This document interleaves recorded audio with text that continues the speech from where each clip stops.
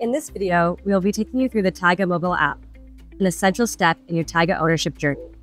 You can download the Taiga mobile app from the Google Play or Apple App Store for a seamless ownership experience. If this is your first time using the app, tap Sign In, then tap Sign Up Now. Start by using the email address associated with your Taiga vehicle, the one used in your delivery documentation. Enter the verification code sent to your email and make sure you create a strong and unique password for your Taiga account. You can now log on using your email and newly created password. If you have already logged in and used the Taiga app, the same information stands, just log in normally. Here's an overview of what you can do in the Taiga app. If you have multiple Taiga vehicles, tap on the vehicle icon on the right hand corner of your screen to see all your vehicles. Tap the vehicle you want to select. If your vehicle does not show up on your app, please reach out to our service team at service at. The main vehicle page displays key information, starting with the state of charge of your vehicle. Going down, you see your vehicle's GPS location. By tapping Vehicle Info, you can see your vehicle's serial number and total usage. In Support, you can see the contact info of our service team and a link to the owner zone of our website, where you can find additional information and instructions for your vehicle. In the Settings section, you can change a variety of settings like vehicle name, drive modes, Wi Fi, and user access.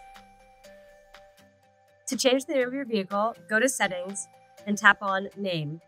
Once in this section, rename the vehicle to your chosen name and tap Save.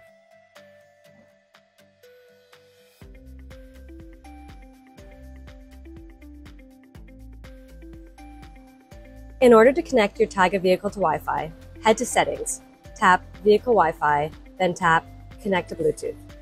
You must be within Bluetooth range of your vehicle. Once your vehicle has been found, tap Pair.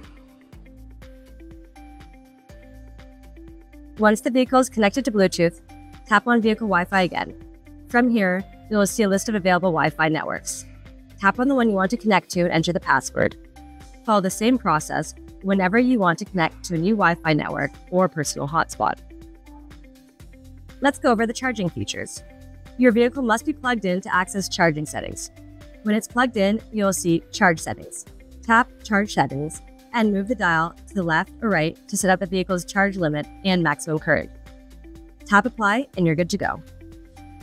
Now let's go over drive modes. Tap Settings, then tap Drive Modes. There are three preset drive modes available on your vehicle Range, Sport, Wild.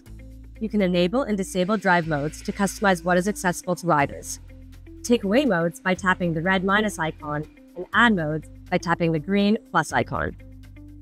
You can also click on the modes to see the power output and throttle response it corresponds to. You can also create your own custom drive modes. Tap on one of the custom modes and slide the dial to adjust the power output and throttle response. You can then name and save the mode. Please note the vehicle must be on and not in drive in order to create and save drive modes.